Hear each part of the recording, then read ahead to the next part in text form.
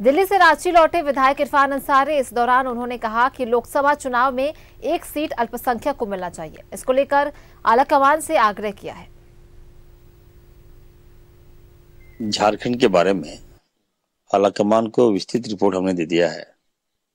हमने कहा कि एक अल्पसंख्यक को टिकट मिलना चाहिए, जिससे अच्छा मैसेज जाएगा। पिछली बार भी आपने देखा था कि अनदेखी हुई तो क्या परिणाम हुए। तो हम लोग आलाकमान का जो भी निर्णय होगा हम लोग मानेंगे लेकिन हमने अपनी बात को वहाँ रख दिया है मजबूती के साथ रख। अगर प्रदीप जी को मिलता है तो निश्चित तौर पर पार्टी के कैंडिडेट है वो। हम उनको जिताने का काम करेंगे। बहन दीपिका को मिलता है तो निश्चित तौर पर हम जिताने का काम करेंगे उनको। अगर फुरकान साहब को मिलता है तो हम भी आग्रह करेंगे दोनों मिलकर ईमानदारी से फुरकान साहब जिताने का काम करें। लेकिन ये ज़रूर है कि देखिए ये कहा जा रहा था हम गए थे दिल्ली कि अगर मुस्लिम को मिलेगा तो वोट पोलाइजेशन हो जाएगा। अदर हाँ। तो देखिए तो मैंने ये भी कहा क्या गारंटी है? आप बता दीजिए कि किसी आप हिंदू कैंडिडेट को लड़ाईगा वो जीत जाए। आप वोट जब टिकट देने की बारी आती है तो आप कहते हैं पोलाइजेशन हो जाएगा। किस बात का पोलाइजेशन हो जाएगा?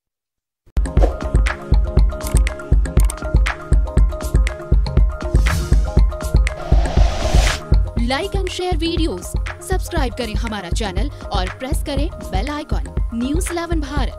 सच है तो दिखेगा।